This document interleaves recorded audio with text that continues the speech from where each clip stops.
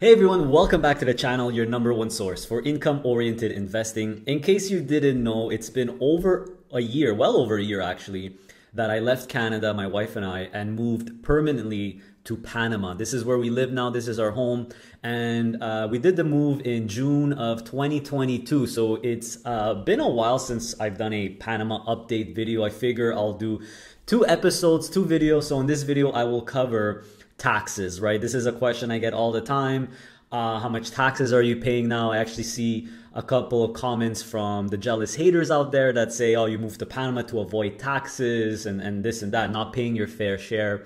So it's time to actually set the record straight because these people have, as usual, no idea what they're talking about. So, is it really, do you really pay 0% tax in Panama? What's going on with the TFSA, the RSP? How much taxes do I actually pay on my investments, on my YouTube income, etc.? So, it's time to get into it right now. Alright, everyone. So I figure we'll start with the investments, right? The investment taxes. I'll uh, explain exactly what happens when you become a non-resident in Canada. And just an FYI, if you're interested in more of these personal journey videos, the best uh, way to find these types of videos in my channel is if you click on the name of the channel, actually go to playlists. I actually have a playlist called our financial freedom journey and personal life. So all videos relating more to our personal life are going to be in that playlist, including this video and episode number two uh, as well. So just wanted to point that out. So when it comes to the investments, guys, you guys already know my investments, right? I, I, I, showcase it. I unveil the portfolio every month. So let's talk about what kind of taxes do you actually pay on this now when you become a non-resident of Canada. And there's a lot of misconceptions about this because, uh, you know, people think that you, you leave Canada to avoid taxes. It's really not the case. It actually turns out, this might surprise you, that I actually pay a lot more taxes now on my investments than when I was in Canada. Believe it or not. So this is why you know I say the, the, those jealous haters that do those comments are really dumb because they're ignorant. They have no idea. So let me explain what happens when you become a non-resident of Canada. So uh, let's start with the TFSA and main account. Okay, so this is, as you guys know, this is my main portfolio. This is from the September unveil. Uh, yeah, well, it's it came out in October, but it covers September. Um, so, and as you know, the main portfolio, this is really a combination of my TFSA, my wife's TFSA, and our joint non-registered cash account, aka margin account in Questrade. So, when it comes to taxes, let's do the TFSA first. Uh, the TFSA, the good news is is that uh, you not only do you get to keep your TFSA uh, when you become a non-resident of Canada, they, it still continue the income still continues to be tax free. So nothing really changes when it comes to the TFSA. The income is tax free. When I take it out, it's tax free. The big uh, negative is that you no longer, uh, the, the year you declare non residency, when you're officially non resident, you no longer get TFSA room going forward. So in 2023 and 2024, you, know, the government says, okay, you have another 6,500, 7,000, maybe it's going to be 7,000 for 2024. Extra room you could put. Well, you're when you're no longer a resident of Canada, you're a non-resident. You, you don't get that room. Very, very sad and unfortunate. So that's number one. Number two, if ever you extract any, you know, I, I'm 99% sure of this, not 100% sure, but almost 100% sure. When you extract any money from your TFSA as a non resident, yes, it's still tax free, but even the year after, you cannot put it back. So you you you really don't get any more TFSA room when you become a non resident. And this is why, starting in June of 2022, uh, when we left Canada, we no longer extract any income from the two TFSAs because now the income is very, very, very precious, right? If we extract it, we can't get it back. So out of the main portfolio, that's why you'll see this here in portfolio objectives and parameters. I added this. All the TFSA distributions, even though they're not on drip, the TFSA accounts are not on drip, it, the money gets reinvested within the account every month because I don't want to take that out. I want to keep growing my TFSA because it's really uh, continues to be a, a source of tax-free income. So what about the, that's the TFSA. So hopefully that, that that's clear. So yes, it's very, very unfortunate. No more TFSA room. Very, very sad. It's literally the thing that I will miss the most from Canada. TFSA room is extremely, extremely precious, everyone. So very sad you do lose that. But hey, you don't lose your TFSA account. You get to keep them. You, the income is still tax free. You could extract it if, if you want, but you no longer get room no matter what. So when it comes to the um, the margin account or the cash account, it's very very simple and easy to understand. Everyone in Canada, there's a withholding. There's a, there's a universal withholding tax. So uh, countries like Canada, like the US, that are universal tax systems where everything gets taxed, they typically have a universal tax rate. So the US is 30%. You think it's 15 because you get that 15% withholding tax, right? If you hold any US stocks, it's actually 30 because of a tax treaty it's re- between Canada and the US it's actually reduced to 15 so the universal withholding tax rate in the US is actually 30 not 15 uh, Canadians get 15, right? It gets reduced. In Canada, the universal tax rate is actually 25%. That is the universal tax rate. Now, because Panama and Canada th- does not have a tax treaty, all my investments or stocks in my uh, non joint cash account, the non-registered, are subject to a 25% withholding tax. So all my dividends that come in from um, my non-registered, which is the majority of my main portfolio, right? Because it's made up of uh, the two TFSAs and the cash account. It's maybe like 20, 25% TFSAs. The rest is in the non-registered. So I have to pay a 25%, not 15, 25% withholding taxes on all the dividends that come in. And so this is taken off automatically. You know, I could show it to you in, in Passiv in Questrade. You just see the dividend come in and you just see 25% that's gone. That get that gets withheld, that gets taken by Questrade. It's as simple as that. So this is why I say that I'm actually paying more taxes on my investments now than when I was in Canada because every single year that I was in Canada and you could scroll and you could see, you know, every year the summary, uh, 2021, 2022, 2020, 2019 because you have access, and I'll get to RRSP in a second, because I had access to put money in the RSP, which offset taxes, I've never paid taxes on my investments on the dividends from my non registered account because of the RSP. Thanks to the RSP, I always got a tax refund.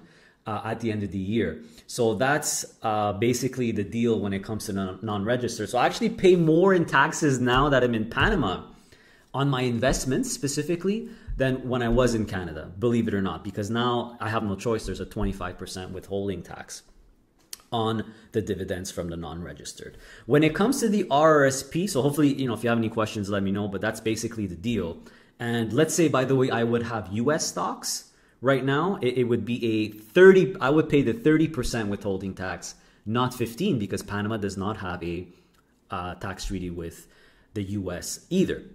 So uh, that's pretty much it when it comes to the, the, the main uh, portfolio there. When it comes to the RSP, everyone, so uh, it's very simple. So I just like the TFSA, you no longer get RSP room.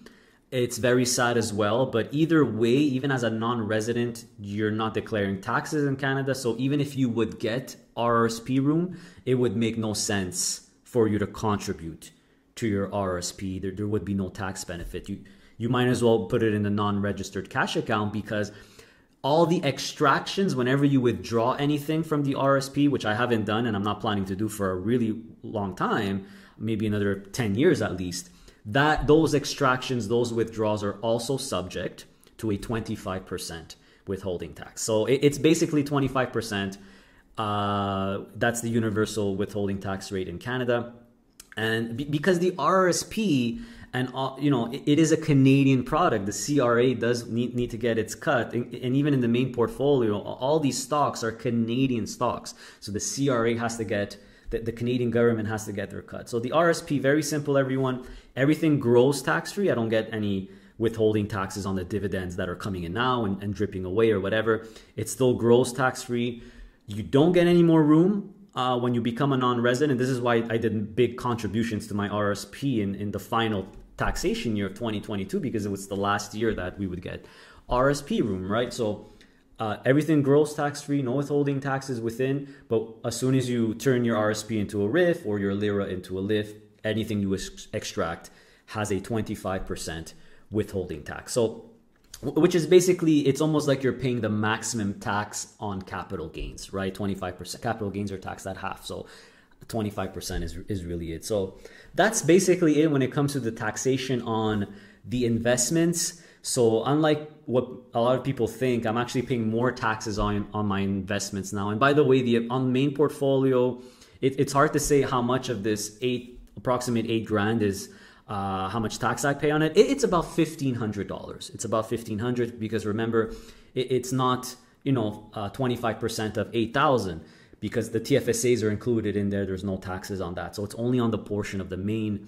Uh, sorry, not on the main portfolio, on, on the non-registered joint account, which it, it, right now is approximately $1,500 a month. So I'm, I'm paying about $1,500 a month in taxes, and I will pay 25% withholding tax on whatever I extract from my RSP later on. So I'm actually paying more taxes on my investments than I used to when I was in Canada. So that that's it for the investments. What about everything else? What about my other sources of income now? Let's go through that now. So that's it for the investments. What about everything else? What about all my other income sources like YouTube and digital product sales, uh, sponsorships, uh, whatever else, right? So this is where Panama is very, very interesting, and hence the big advantage of why people really like coming here. So Panama uses or uh, has a territorial tax system, not a universal tax system. So you only get taxed on things that you're on any products or services you're selling within the country to Panamanians. So this is, you know, something I really double checked with my lawyer and she confirmed this you know, since the YouTube channel, the digital products consultations, it's it's all being sold and being viewed outside of Panama, right? No, nobody from Panama is watching my videos really. Uh, same with the, the YouTube income, right? It, it, it's it's from Google, it, it's external, so I don't have to basically declare taxes or pay tax, taxes on any of that income. So it's a very very big advantage. I don't have a I didn't register a business in Panama or anything like that. You don't have to do that. I we decided to go with the friendly nations visa. Um, and I, we discussed that. I discussed that in a prior video in that playlist I showed you. So um, that is where the giant advantage comes in for us. So you, because of the way Panama the, the tax system is set up, the good news is, is that I don't have to pay taxes on the other on everything else, on the other sources of income, which is really, really a huge advantage, obviously. So um, that is that that's basically it. I mean, short and sweet. That that's the, the, the main advantage of why we came here. Obviously, the weather and other things. So, uh, and if you're interested, um, by the way, to learn more about you know what happens when you become a non-resident of Canada. How do I? How did I learn all this? I, I actually just learned from some YouTube videos, a three-part series from this guy called Allan Madan.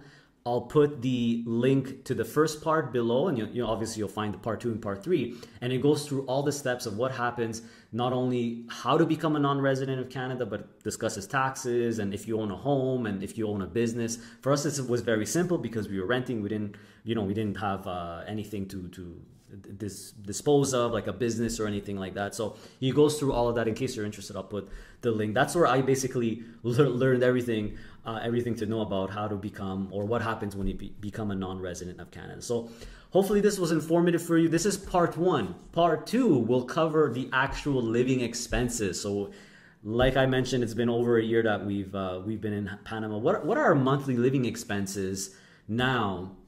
Compared to Canada. So that's what we'll get into in the next episode in part two. And stay tuned uh, because uh, a very special guest will be joining me on that episode. So hopefully this was informative. Give me a thumbs up. I would really appreciate it. And see you next time. Hey, don't go yet. A few reminders before you leave. Did you know that I launched a YouTube loyalty membership program where for only $3 a month, you could become a PII Inner Circle member where you will gain access to exclusive content, exclusive videos and live streams, as well as other perks and benefits, including a really cool weekly opportunity report. That's right. If you're interested, just click on the little join button next to the subscribe button to see what it's all about. Also, make sure to follow me on Blossom and download Blossom. It's a social investing app, which is really cool. You could share your portfolio, follow other people's portfolios, including my own. My username is Adrian underscore PII. So download it with the referral link below. Not only is it free, but you could actually earn cash by taking these really small, quick one minute courses. Really awesome. It's a no brainer. Also, make sure to visit our website, passiveincomeinvesting.ca. That's where you could book a one on one private coaching session with yours truly, with myself, where you could ask me all the questions you want. All the information and booking information is on the website. Make sure to check out that video on the homepage there to see how to book a one on one properly. Also, on my website, you could purchase my digital product, which I'm very proud of the ultimate DIY investing package. This is a reference tool or a companion tool that will help you build your own portfolio. So it has lists of funds, it has sample portfolios, and it covers both the Canadian and US stock markets. And the good news is you'll only ever have to buy it once because it comes with free lifetime updates. And my plan is really to update the version every single year. So make sure to pick it up.